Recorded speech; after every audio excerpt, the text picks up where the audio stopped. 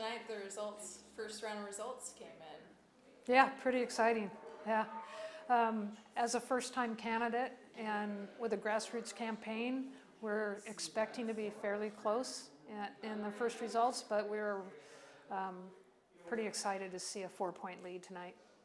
So, um, what are you thinking is going to happen in the next kind of coming days? What's the, what's the I look forward to the next uh, phase of votes coming in. Uh, I think that we'll continue to trend in the direction we've been going, and uh, we're pretty excited that uh, at the end of this we'll, we'll be in office. So feeling pretty confident. Feel, feeling really good right now, yes.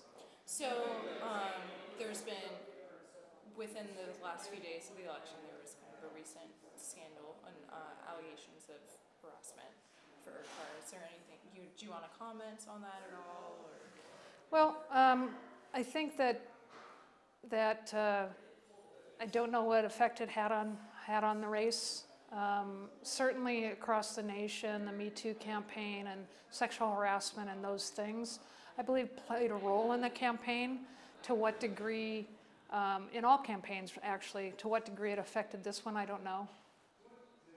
Um, is there any kind of anything you want to say to people who, um, alle- you know, Yeah. spoke up and said that alleged harassment?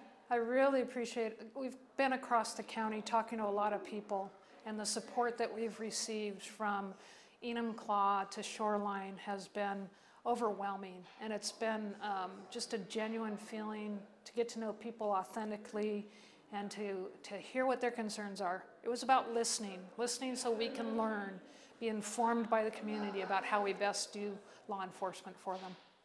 And so, what are some kind of things you've heard about how to best do law enforcement? Well, one of the things we need to do is work um, to create a new uh, community outreach section in the sheriff's office where we actually have community councils or advisory councils that speak to the sheriff and everyone in the department about what we can do best to serve, to return public safety, good public safety across the county.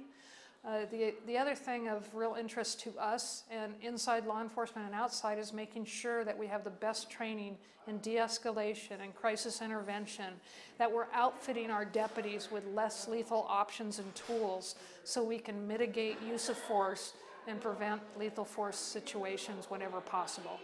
So those are a couple of the really big issues we want to get on right away. And what are some things planning on? What are some kind of actions you're planning on taking? The actions would be uh, to, again, initiate the training that we so need in the sheriff's office and make sure that we uh, find a way to purchase those tools that we need to deploy to all of our deputies so that they have an option between the use of their taser and their firearm. So, what do you think kind of the message voters have sent with you being ahead? I think the message so far is that they're, they're wanting change in the sheriff's office, that they want a person with high integrity, that's honest, and will be really transparent with them and, and listen to them, and that we restore honor and integrity to the office of sheriff itself. Anything else you want to add about this tonight? Just, this has really been a humbling experience. Um, the people I've got, had the opportunity to talk to, a really good team around me, the support inside and outside the department. I've been honored, and I look forward to serving as sheriff.